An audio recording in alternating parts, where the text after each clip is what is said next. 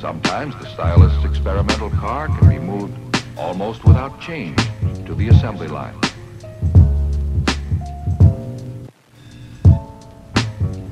What gives this car its look of total performance? First, inside. An interior that's inviting, comfortable, and sporty. With an instrument panel that's deeply padded and hooded. Now outside. The unique grille.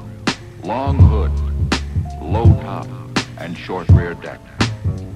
Sculptured side panels to lower the profile.